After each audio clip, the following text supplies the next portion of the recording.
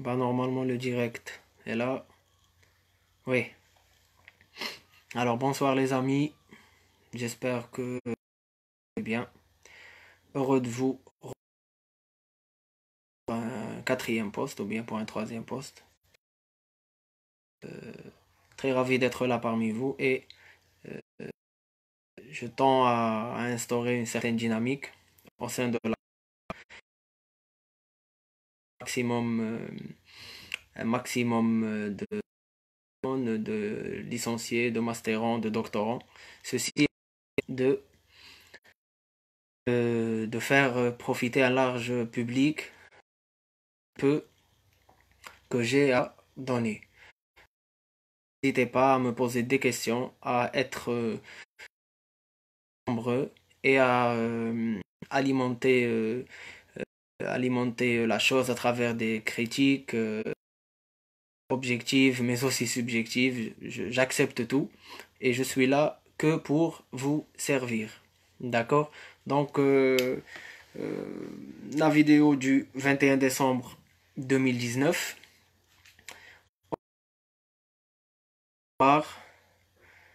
Oui, t'es la première. Merci d'être là.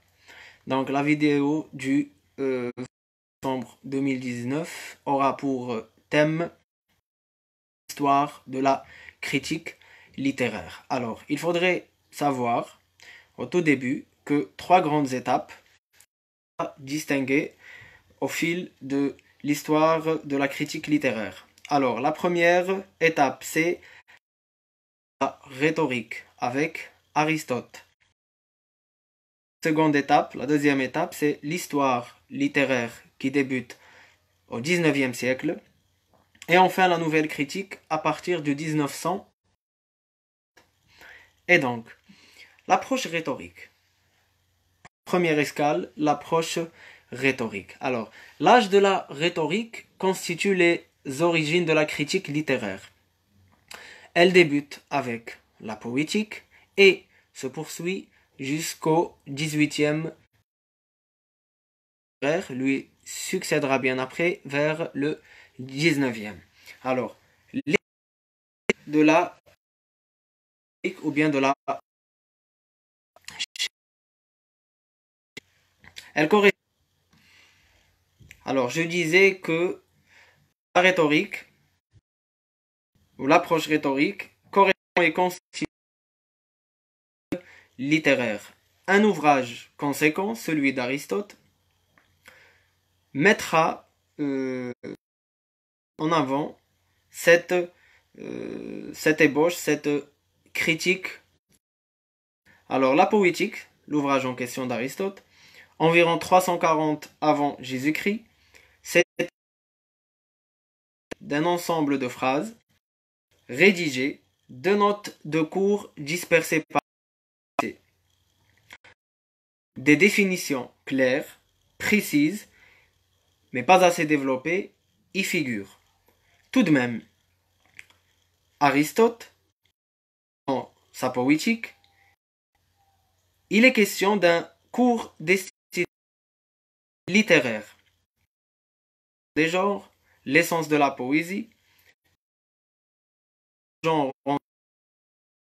en sous-catégorie, et bien sûr, Aristote régit les lois les lois pour chaque genre. Dans la poétique, on met la force du verbe en valeur et la grammaire. Pour euh, parler un peu d'Aristote, on va dire que c'est le père euh, occidental de la critique. Nous y reviendrons lors de nos prochains posts. L'intérêt pour aujourd'hui, d'aujourd'hui, c'est de faire c'est de faire découvrir cette large panoplie de mouvements qui ont instauré. Alors, la critique d'Aristote distingue les genres et énonce leurs lois. Des questions sont à voir, sont à poser. À quel genre de poésie a-t-on affaire, épopée ou autre? Est-ce une poésie simple ou complexe? À quoi reconnaît-on un personnage euh, de la tragédie tragique Quelles sont les étapes de la tragédie et euh, son déroulement. Aristote le Moyen Âge. Très peu de critiques car l'imprimerie n'est pas encore inventée. On n'a pas encore, durant le Moyen Âge, les moyens pour... De quoi Salut Afif, de quoi parle ce live Alors, Ham Atmani, euh, en train, là je suis en train d'aborder l'histoire de la critique littéraire. D'accord? On fait un, survol de l'histoire, de la critique littéraire. Bienvenue. Pour le Moyen Âge, très peu de critiques, car l'imprimerie n'est pas encore inventée. Alors, de diffuser la pensée, d'établir de véritables règles de critique à travers justement euh, des, des, des, des, notes euh, claires, concises, euh, mises sur papier et à travers des maisons d'édition qui vont, qui vont diffuser ces œuvres. Alors, on peut, par exemple, pour une seule critique, avoir plusieurs versions non établies et qui ne sont pas fixes. Alors, durant le Moyen Âge aussi, la notion d'auteur, d'artiste, théoricien n'existait pas à l'époque. Le temps était beaucoup plus à la fantaisie qu'à la critique. On développe durant le Moyen Âge le goût, euh, le, goût du théâtre euh, de château, on s'adonnait à la poésie, on s'adonnait à la frénésie, et non à la critique. Il faudra attendre jusqu'au XVIe siècle la naissance d'une critique littéraire. Alors, plusieurs facteurs vont souffle nouveau euh, qu'avait entamé Aristote, l'imprimerie, l'héritage occidental, la Renaissance aideront à cela, plus la domination de la langue française. Alors, il y a intéressant. Bien sûr, euh, le, document qui me sert de référence, je le mettrai en commentaire et je n'hésiterai pas à vous l'envoyer. Alors, en revanche, nous allons discuter idée. nous allons discuter l'idée. Bien sûr, on en discutera, c'est très intéressant, Raouf. Euh, Abdallah Draoui, euh, universitaire de Skikda, enseignant à l'université de Skikda. Bonsoir Afif, bon courage. Zoubir. Pour en revenir à Abdallah Draoui, c'est un ami à moi, euh, littérature francophone et française. Euh, je remercie beaucoup car il m'a apporté un soutien de taille à une certaine époque. Il continue aussi à le faire. Donc, euh, mon frère, on, discutera de ce que tu veux. Je suis reconnaissant envers sont animés par cette, euh, par cette dynamique. D'accord, mon frère? En revanche, le Moyen Âge voit l'émergence ces œuvres n'ont évidemment rien de commun avec. Donc, durant le Moyen Âge, il n'y avait pas. Euh, là, je fais un bref retour vers le Moyen Âge. Il n'y avait pas encore de critique, on s'intéressait à la, plus à la biographie. Donc, je disais qu'il faut, faudra attendre le XVIe siècle pour avoir une critique digne de ce nom Plusieurs facteurs y aideront dans la Renaissance et la domination de la langue française. La critique maintenant au XVIIe siècle. Alors, il faudrait savoir que la critique au XVIIe siècle jouit d'un statut particulier puisqu'elle se place dans un rôle intermédiaire entre l'œuvre et le public. Alors, dans le document en question que je laisserai, page 4, vous trouverez un schéma très intéressant à voir. Il y a d'un côté Bon, il y a trois cercles. Il y a d'un côté les écrivains, les créateurs, les artistes. Il y a d'un côté le public, les grands amateurs de lecture. Il y a au centre la critique. La critique, entre autres, c'est les règles de l'art. On tend à instaurer des règles de l'art au XVIIe siècle pour congédier entre les écrivains et le grand public. Les écrivains ont depuis toujours se sont adonnés création certes faite de règles normées, pas, au sens des normes imposées par une critique. Ce sont des, normes imposées euh, par une esthétique qui leur est propre. Alors, la critique comme intermédiaire entre les œuvres et le public, il fallait impérativement avertir les écrivains sur, sur les règles de, euh, de l'art. Alors, on doit à Malherbe la première critique, à Malherbe la première critique, et c'est une critique reprise par l'Académie française. Euh, c'est à voir au niveau aussi, euh, c'est-à-dire en profondeur au niveau du document que je laisserai en commentaire. Alors, au XVIIe siècle, il faudrait savoir qu'il y avait deux critiques. Une critique mondaine et une seconde dogmatique. Alors, pour en revenir à la critique mondaine, il y a un passage qui illustre mes propos. Au XVIIe siècle, une forme particulière de critique. une critique de discussion collective et donc empreinte d'oralité. Elles fleurissent notamment à l'hôtel de Rambouillet, où l'on discute d'esthétique littéraire autour de clèves de Scudéry. Même à l'écrit, cette critique garde une donc c'est la première euh, mondaine. Quelques critiques. Molière en 1963 incarne la critique de discussion, cette critique orale, dans la critique de l'école des femmes. La Fontaine en 1669 de Psyché. Boileau, enfin en 1701, ses œuvres complètes avec une critique comme préface. Donc, il édite ses œuvres complexes, complètes, pardon, et la préface est une critique qui porte sur son art esthétique classique, puisqu'il euh, Boileau fait appel à l'art et l'esthétique euh, classique. On avait dit qu'il y avait deux critiques. La seconde, c'est la critique dogmatique. Elle se développe parallèlement à cette première euh, critique mondaine et elle se veut euh, rigoureuse. Alors Chaplin, pour une critique rationnelle, analytique, partant du détail, de... il y a le souci de bien faire. La critique est un jugement sous forme de sentence sous cette hégémonie. D'où d'ailleurs la dénomination de la critique dogme. Alors, c'est un modèle, le modèle euh, acté par euh, cette critique dogmatique, c'est un modèle argumentatif tel que celui de la morale et du droit. Donc, il y a une forme de rigueur instaurée pour la première fois.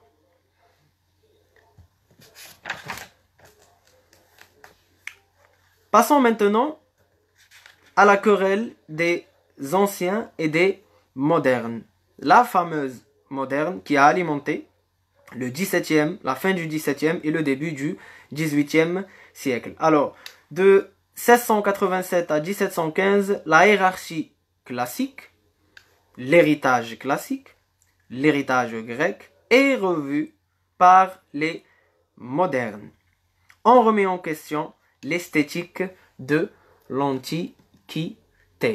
Alors, toute la hiérarchie classique, revue à la fin du XVIIe siècle et au début du XVIIIe, est incarnée par la querelle de ces, euh, des anciens et des modernes. Alors, en quoi les modernes remettent-ils l'Antiquité en cause? Donc, on ne va pas remettre l'Antiquité et son héritage comme ça. Il y a des questions de fond qui nous intéressent. Alors, première question, c'est le progrès. Alors, en prenant appui sur les progrès de découverte scientifique, les modernes affirment que puisqu'il y a un progrès en science, il n'y a pas de raison qu'il n'y ait pas de progrès en littérature. Liberté d'innovation, second point, déjà revendiqué au XVIIe siècle par les poètes baroques. La permanence des lois de la nature. L'éducation. Les modernes sont supérieurs aux antiques de la connaissance. Le christianisme, qui est une valeur sûre pour les modernistes, qui dans l'argument qui est leur argument ultime, pour cette bataille. Alors, parmi les traités de rhétorique, il faut citer des tropes ou des différents sens dans lesquels on peut prendre un même mot dans une même langue, signé en 1730 par César Dumercé. Et en 1830, les figures de discours par Pierre Fontanier, qui est à la fois le dernier grand traité de rhétorique et à la fin.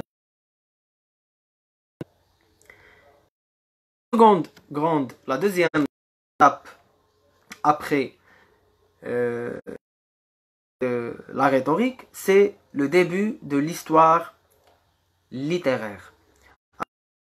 J'ai pris note. C'est des théories de Gustave Lançon bâti euh, le lancénisme et l'histoire littéraire. Donc c'est à partir des travaux de Gustave Lançon. Alors, les grandes questions de l'histoire littéraire. L'œuvre littéraire et son contexte. Le rapport œuvre et temps. Il s'agit d'une approche historique qui met aussi en relation l'histoire, la société et la littérature. graphique.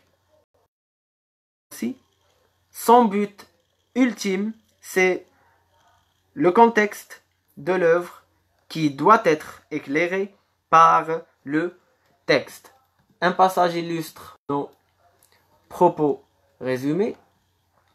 Alors, une œuvre est une rencontre, un concours de circonstances. Et, mon secondaire, qu'une œuvre en un double fond, un double sens, selon qu'on les lit pour elles-mêmes ou que l'on étudie leur contexte. Pour lire, il faut découvrir, puis étudier l'esprit du temps. D'accord? Donc c'est la relation œuvre-temps, histoire et société, plus l'axe biographique qui est au centre de cet intérêt. Parmi les critiques de l'histoire littéraire, 1733, une abbaye bénédictine donne l'histoire littéraire de la France. Madame de Staël, de l'Allemagne, de la littérature, euh, de la littérature en 1800 et de l'Allemagne en 1813. Rabelais, enfin en 1530, avait, avait auparavant peint un tableau de la littérature de son ère dans une lettre de Gargantura à Pantagruel. Donc, il y avait déjà un début d'histoire littéraire. On s'intéressait à l'histoire, euh, à l'histoire, euh, à l'histoire euh, de la, plutôt on s'intéressait à la biographie des auteurs.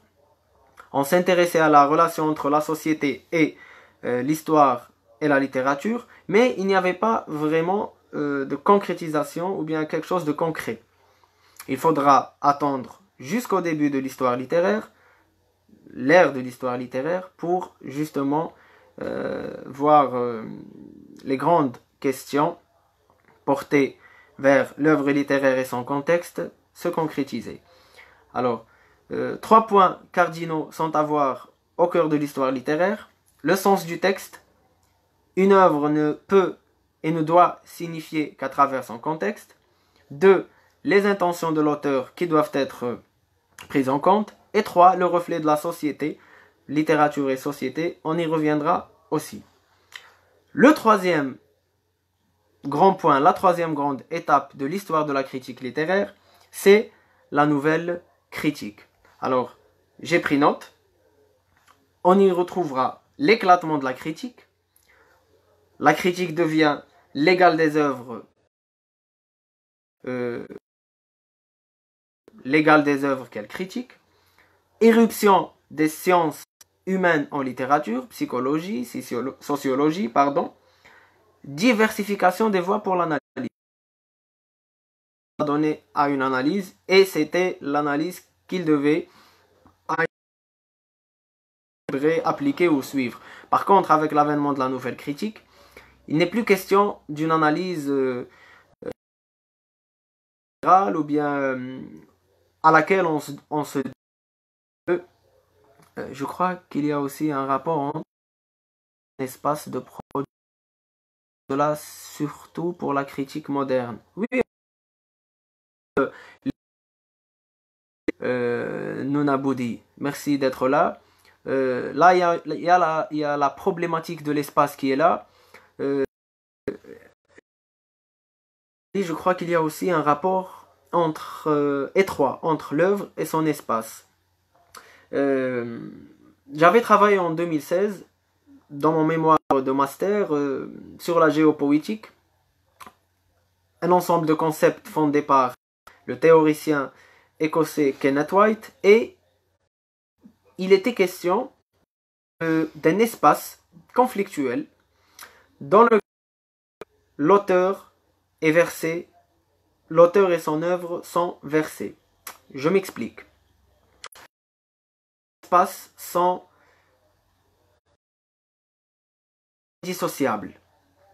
On ne peut prétendre en œuvre sa création sans la codifier à travers ou bien dans un espace social en particulier.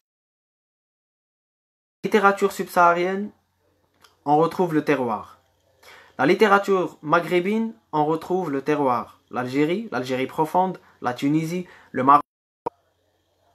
La littérature monde nous ouvre les pieds,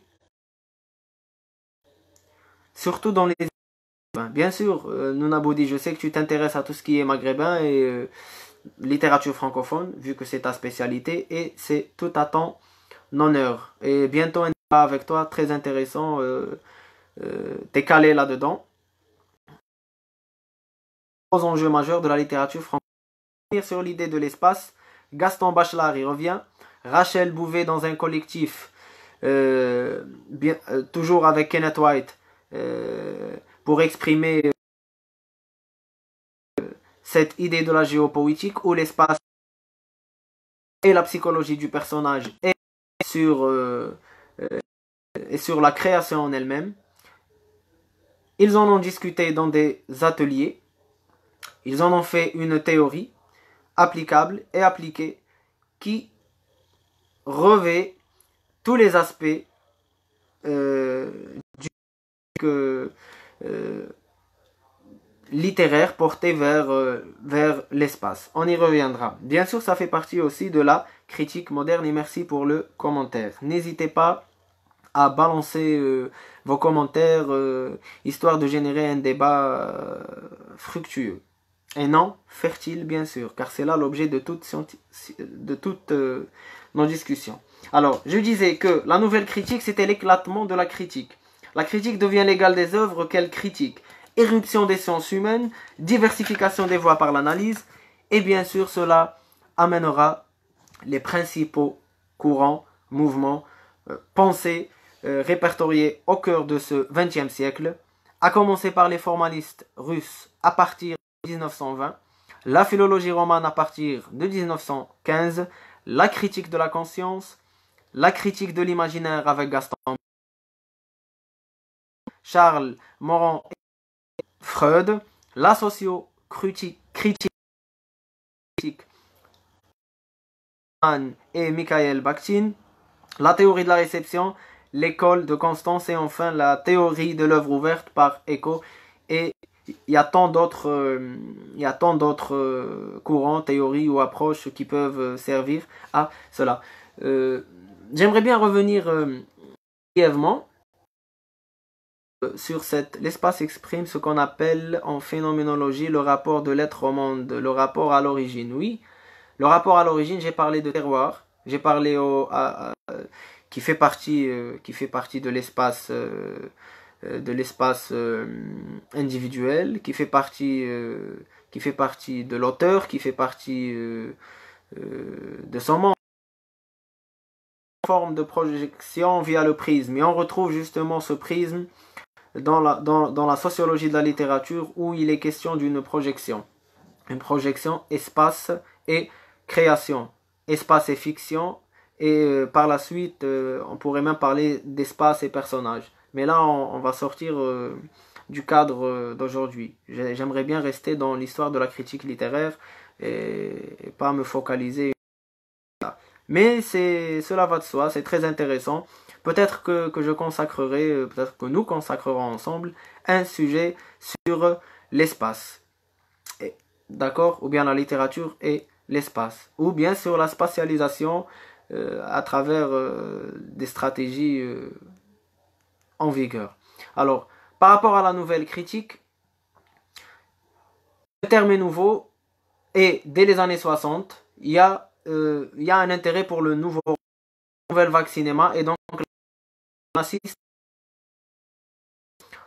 qui met fin à l'histoire littéraire. Alors, cette critique siècle, mais apparaît au tournant des 60. Avec cette impression de renouveau, le statut de la critique modifie. La critique se fait littérature. Pour résumer euh, mon propos. Alors, l'œuvre est donc différente de la définition que l'auteur lui donne. Il peut affirmer faire une chose et en réaliser une autre, voire même l'inverse. Là, ça sous-entend qu'il y a euh, qu'il y a un troisième intérêt apporté. On parle d'auteur, on parle de création, on parle aussi de réception, d'où l'école de Constance et euh, la théorisation de la chose par Joss. Alors, théorie de la réception, cela inclut le lecteur, cela inclut aussi euh, la théorie de l'œuvre ouverte d'Umberto Eco, où on n'est plus passif, où on devient actif et euh, où le lecteur participe à, à la signifiance de l'œuvre ou bien à établir un sens non final, non clos de l'œuvre par rapport à ce qui était de mise avant. Alors, euh, donc oui, grosso modo, vous retrouverez dans, le différents courants théoriques euh, détaillés, les formalistes russes, Jacobson, euh, l'intérêt porté pour le concept de littérarité, euh, la décortication d'un poème, le langage poétique, d'accord? Donc l'intérêt démontré après pour la philologie romane, la critique de la conscience et toutes les approches et les courants théoriques abordés brièvement ici. Alors l'intérêt d'aujourd'hui était de survoler, de faire un survol de l'histoire de la critique littéraire. C'est long à faire, il y a tant de choses à dire. Mon intérêt premier était de donner un aperçu, euh, un modeste aperçu de ces théories. J'espère que j'ai plus ou moins apporté, euh, euh, pu apporter ou pu éclairer mon auditoire. Et euh, c'est apparemment j'aurais besoin de la géocritique si vous pouvez me donner une idée géocritique, géopoétique.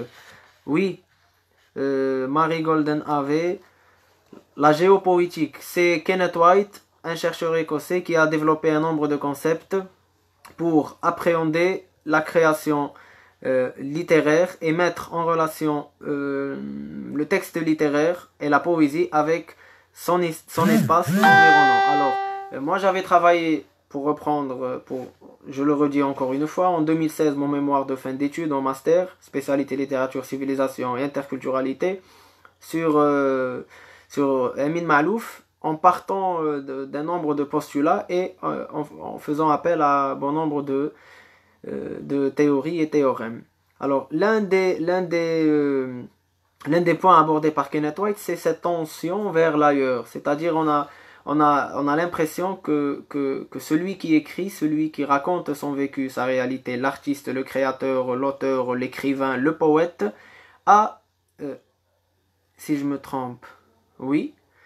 Donc, euh, la critique Jacques Berger, si je me trompe, oui.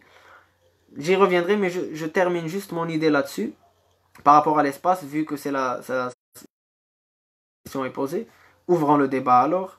Euh, je disais qu'il y avait euh, euh, le concept de, le, concept de l'ailleurs, le concept de du nomadisme. Le nomadisme, c'est cet être qui se déplace soit physiquement, soit intellectuellement à travers ses écrits. Et on retrouve ce genre d'écrits généralement dans, dans, le, dans, le, dans, dans le récit euh, journalier, euh, dans l'enquête, euh, à travers les écrits qui vont prendre en charge l'itinéraire. J'y reviendrai, j'y reviendrai et très intéressant.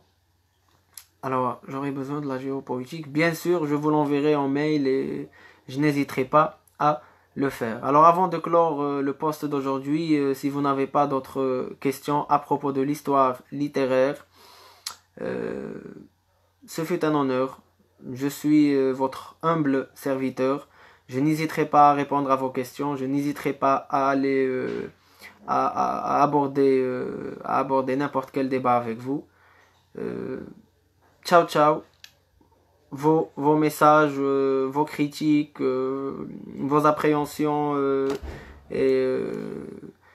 en commentaire. Alors, il faut préciser, chers collègues, surtout pour nos étudiants en master, qu'il ne faut jamais choisir la théorie à appliquer avant de lire l'œuvre, car c'est elle qui impose l'approche de la théorie à suivre. On aurait besoin de conseils pour bien préparer le concours de doctorat littérature vu qu'il y a beaucoup de spécialités. Alors, je reviens vers Nouna Boudi. Chers collègues, surtout pour nos étudiants de master, il ne faut jamais choisir la théorie. J'en ai parlé lors du dernier poste. Théorie, mémoire de fin d'études, thèse, c'est un peu compliqué. Pas compliqué à faire, mais compliqué lors du démarrage. Alors, il y a certains qui choisissent, qui ont des lectures, qui s'adonnent à des lectures ciblées vers des théories, euh, euh, vers des, théories que l'on retrouve dans les, dans les universités généralement algériennes. Même s'il n'y a pas une codification, mais euh, on parle de dialogisme, de narratologie, on parle de personnages, on parle de, de euh, quoi d'autre? On parle d'intertextualité, on parle de l'interculturel, il y a pas mal d'approches qui sont là. Live se portera sur Inch'Allah si l'admin me le permet, bien sûr. Bien sûr que je le permets. Euh, est-ce que vous pouvez nous éclairer un peu la notion de la théorie de la réception? Je le ferai, oui. J'éclairerai les, les, les, les, points cardinaux de la théorie de la réception, mais euh, là, là je dois répondre à quelque chose de très intéressant, j'y reviendrai. Alors, je reprends. J'ai fait déjà, euh, alors, j'ai fait déjà un post sur les littéraires. Là, je viens de faire aujourd'hui un post sur l'histoire euh, littéraire. Je reviendrai une autre fois sur, euh, je reviendrai une autre fois sur les théories, les théories, pardon. C'est très important. il faudrait consacrer, euh, je pas pas mal de temps pour l'expliquer, mais il faudrait euh, essayer de vulgariser l'information et ça demande beaucoup de travail. Donc, pour être clair, net et précis, j'entamerai une série de posts sur une théorie donnée.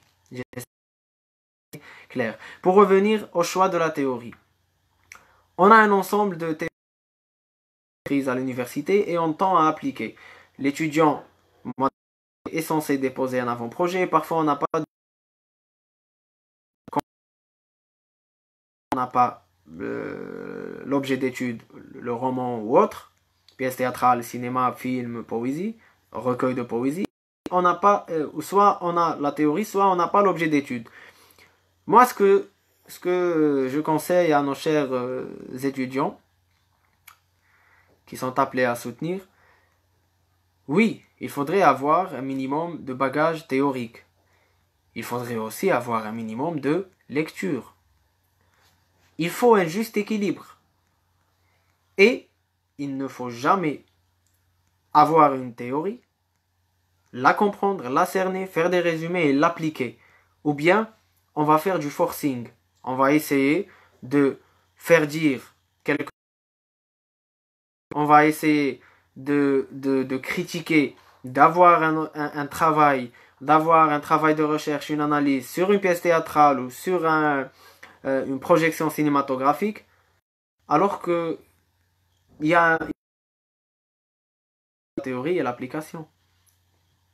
C'est pour ça que j'insiste sur le euh, euh, sur cet équilibre là. Donc, faites vos lectures, prenez le temps de durant l'été, lors de la première master,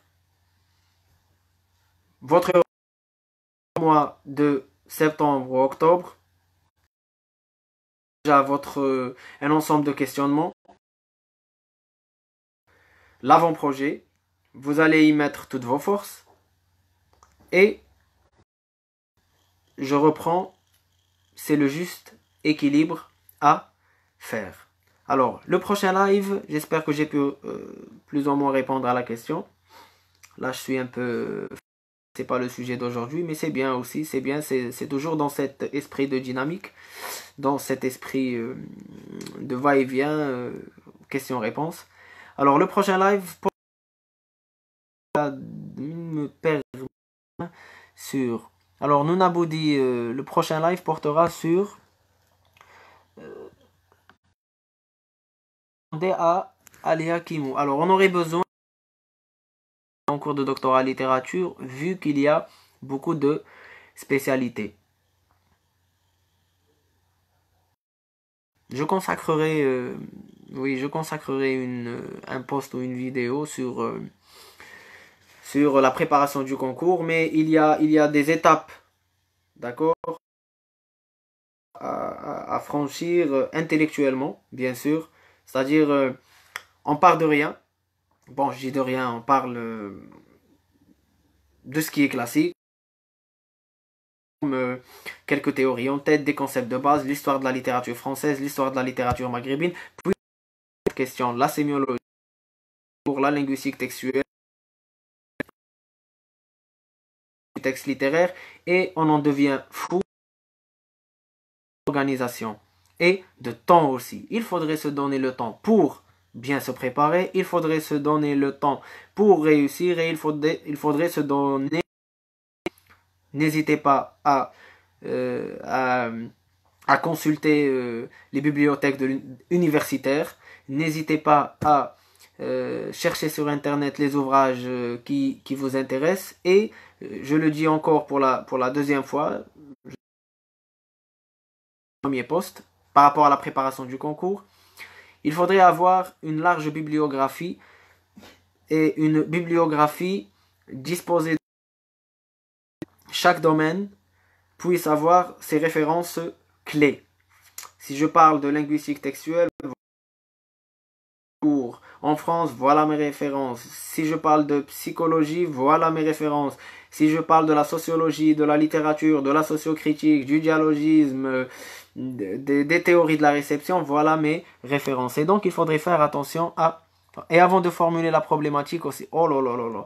Alors là, Raouf, il met le, il met le doigt sur quelque chose de très important, euh, la formulation de la problématique. On a les théories à appliquer, ou un ensemble de théories, théorèmes ou approches, mais on n'a pas une problématique. Eh bien, il faudrait se poser les bonnes questions. Il y a a, a, a, a d'abord la prise de notes. Il y a d'abord euh, votre esprit critique. Il faudrait lire l'œuvre non pas une fois, mais, mais la boire, quoi.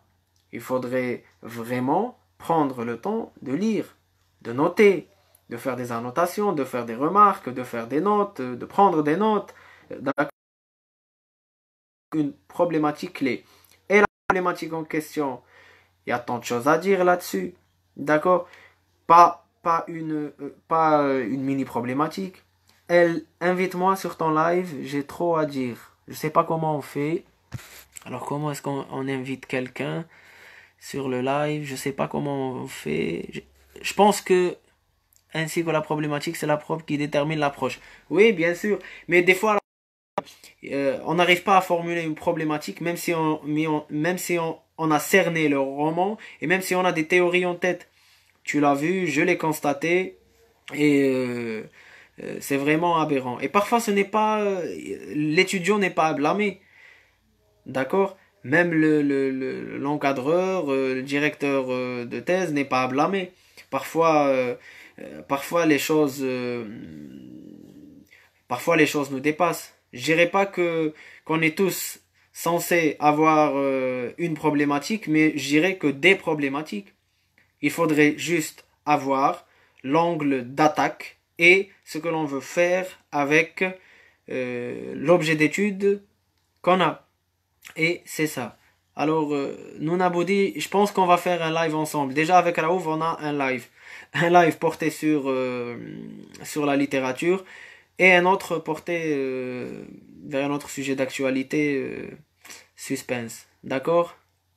Alors, oui, merci d'être là, merci d'être peu nombreux, mais c'est pas important vu que l'intérêt que vous démontrez à cette heure si tardive de la nuit. Très heureux de pouvoir partager ce moment avec vous. On se reverra prochain poste. D'ici là, douce nuit et à bientôt. Ciao, ciao. Alors, alors.